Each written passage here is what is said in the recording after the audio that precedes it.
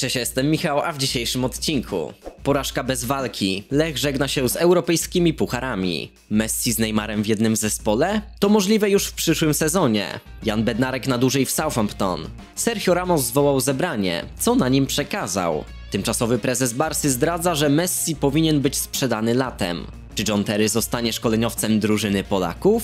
Dzisiejszy film będzie niestety tylko pay-per-view, żeby wykupić dostęp do filmu, trzeba subskrybować ten kanał tam na dole. Zobaczymy, ilu nowych widzów dołączy. Dzięki za wszystkie pozytywne oceny pod poprzednim filmem i za wszystkie krytyczne komentarze dotyczące tej sytuacji Freda i jego główki. Serio, bardzo Wam dziękuję.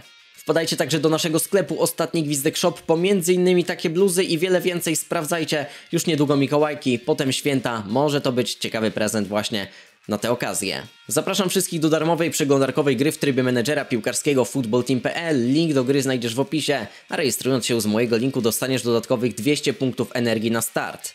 Gorąco polecam i zachęcam, widzimy się w grze, no i lecimy z newsami. Miłego oglądania. Lech Poznań przed meczem z Benficą Lizbona miał czysto matematyczne szanse na wywalczenie awansu do kolejnej fazy rozgrywek Ligi Europy. Kolejosz musiał wygrać z Portugalczykami oraz w ostatnim meczu z Rangersami. Dodatkowo Standard Lisz musiał urwać punkty wcześniej wymienionej dwójce. Początek spotkania był nawet obiecujący, Lech nie przestraszył się rywala. Niestety z każdą kolejną minutą było coraz gorzej. Dariusz Żuraw postanowił ubrać drugi garnitur kolejorza, co było widoczne. Brakowało takich piłkarzy jak Moder, Tiba, Ramirez czy Iszak. Benfica w końcu przełamała się w 36 minucie, kiedy to po rzucie rożnym Bednarka pokonał Vertonghen. Kilka minut później boisko musiał opuścić Kaczarawa, który po ostatnim wejściu Otamendiego musiał być zniesiony na noszach. Benfica miała ten mecz absolutnie pod kontrolą. W odstępie kilkudziesięciu sekund gole zdobyli Nunes oraz Pizzi. Żuraw postanowił wprowadzić na boisko m.in. Ramireza czy Czerwińskiego. Niestety dużo to nie zmieniło. Lech niesamowicie cierpiał i męczył się ze znacznie lepszym rywalem. Gości dobił w ostatnich minutach Weigl. Kolejorz żegna się z europejskimi pucharami. W ostatniej kolejce przy bułgarskiej zmierzą się z Rangersami. Szkoci raczej nie odpuszczą tego meczu, bo rywalizują z Benficą o zajęcie pierwszego miejsca w grupie. Kartka z kalendarza. 4 grudnia 1926 roku w Warszawie utworzono Polską Ligę Piłki Nożnej.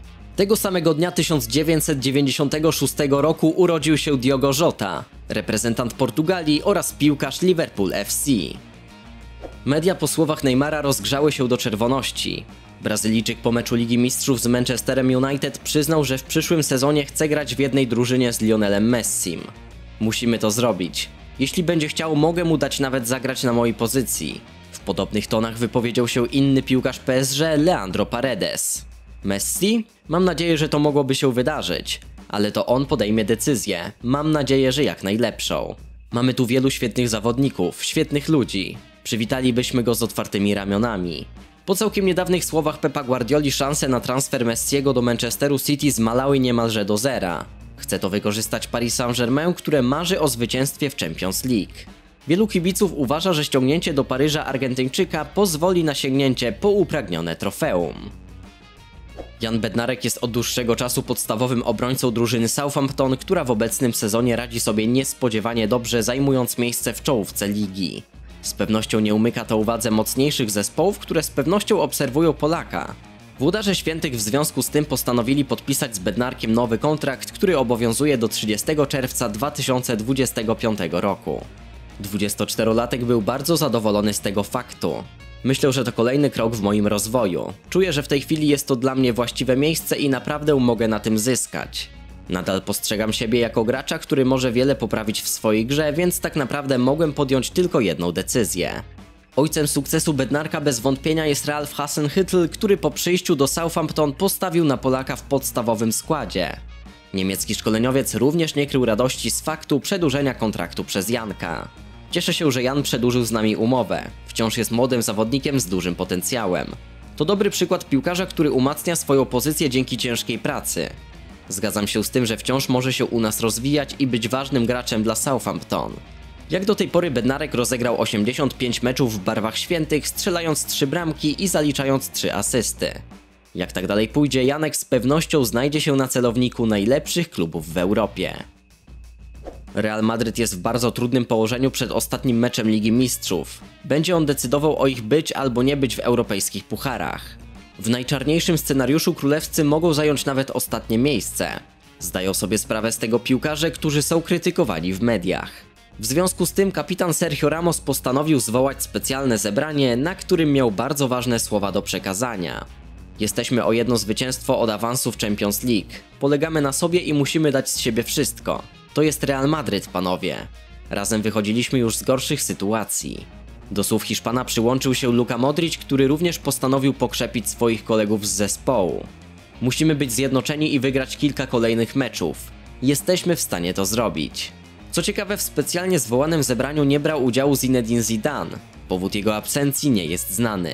W centrum treningowym Realu natomiast pojawił się sam prezes Florentino Perez, który przywitał się z piłkarzami oraz szkoleniowcem. Atmosfera w ekipie królewskich jest bardzo ponura. Najbliższe mecze będą decydujące dla przyszłości wielu piłkarzy oraz samego Zinedina Zidana. Rok 2020 miał jeden pozytywny aspekt dla FC Barcelony. Odejście Josepa Marii Bartomeu, który postanowił zrezygnować z posady prezesa klubu. Jego obowiązki tymczasowo postanowił przejąć Carles Tusquets. Ostatnio udzielił on bardzo głośnego wywiadu dla RAK UNO, w której odniósł się do finansowej sytuacji Dumy Katalonii. Finanse? Bardzo nas to martwi. Sytuacja jest straszna. Piłkarze dostają pieniądze dwa razy do roku, w styczniu i w lipcu, a teraz w styczniu ich nie otrzymają. Przełożyliśmy płatność tak jak inne rzeczy, takie jak bonusy za trofea. Mamy jednak nadzieję na lepsze jutro. Po ponownym otwarciu stadionu wszystko się zmieni. Tusquets przyznał, że z finansowego punktu widzenia odejście Messiego latem byłoby ogromną ulgą dla budżetu klubu. Z ekonomicznego punktu widzenia ja bym sprzedał Messiego ostatniego lata. Ze względu na przychody i oszczędności. La Liga ma pewne limity płac. Takie decyzje musi jednak podejmować sztab szkoleniowy. Działacz odniósł się również do plotek transferowych, które mówiły o powrocie Neymara na Camp Nou. Jeśli przyjdzie za darmo, być może można to rozważyć. W innym wypadku przyszły prezydent musiałby dokonać cudu, sprzedać wielu piłkarzy i całe pieniądze przeznaczyć na Neymara. Derby County, w którym na co dzień swoje mecze rozgrywają Krystian Bielik i Kamil Jóźwiak, nie mogą zaliczyć początku sezonu do udanych. W listopadzie zwolniony został pierwszy szkoleniowiec Filip Koku. Obecnie po 15 meczach w Championship mają zaledwie 8 punktów. Obecnie rolę menedżera pełni Wayne Rooney, który łączy te obowiązki z byciem aktywnym piłkarzem. Na jednej z konferencji prasowych przyznał, że jeżeli Derby zaproponuje mu stałą współpracę na posadzie szkoleniowca, Anglik zakończy profesjonalną karierę. Według informacji Daily Mail faworytem do objęcia tej posady jest kto inny John Terry. Możliwy jest też taki scenariusz, że Rooney dołączy do sztabu szkoleniowego 39-latka. Obecnie były obrońca Chelsea jest asystentem pierwszego szkoleniowca w drużynie Aston Villa.